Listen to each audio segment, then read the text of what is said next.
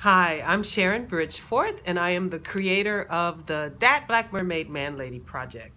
And I am really excited to open this package. Woo! For a long time, I've been working on not only the Dat Black Mermaid Man Lady project, but a piece within the project, which is an oracle deck. So basically, um, I made the characters from the Dat Black Mermaid Man Lady performance novel oracles. And I've been working with the amazing, brilliant seer visual artist Yasmin Hernandez for the past few months. And she created the artwork for the deck. And we just got our first shipment of cards from the printer. So I'm about to tear this puppy open and for the first time see what they look like in my hands.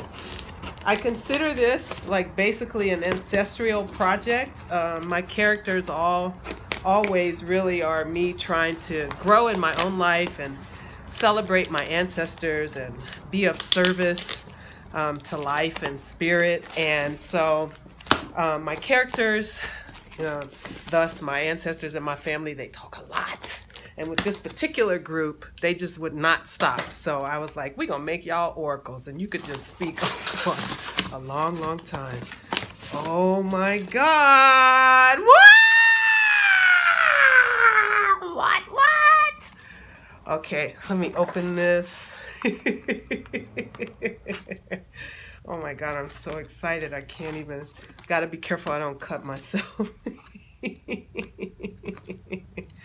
Um, there are so many people to thank. The Whitman Institute funded the, the creation of this deck. So thank you, Whitman Institute, for your faith and love and support and fierce, fierce, fierce funding.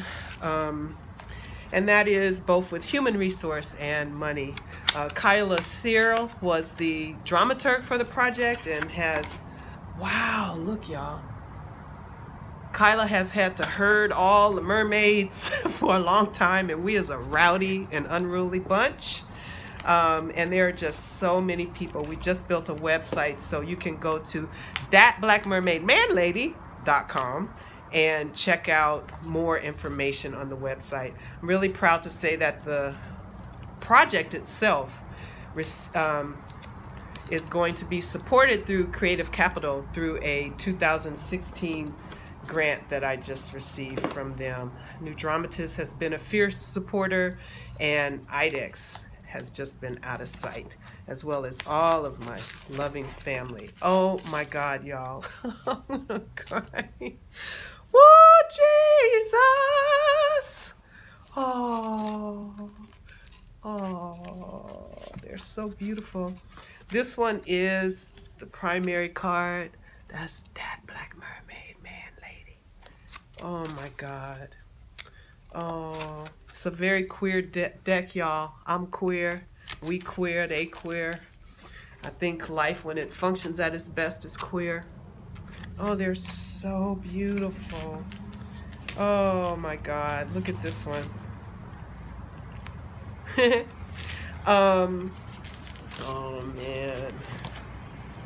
These are my actual ancestors on there. I don't know if you can see them my blood father and uh, the father that chose me are on there. Oh my God! So there are nine. there are nine characters. Um, so there are nine oracles. Um, each oracle speaks on four different things. One of the things that they each speak on is a blank card, which basically, if that is pulled, it means you already know. So I ain't talking to you about that. So it's blank.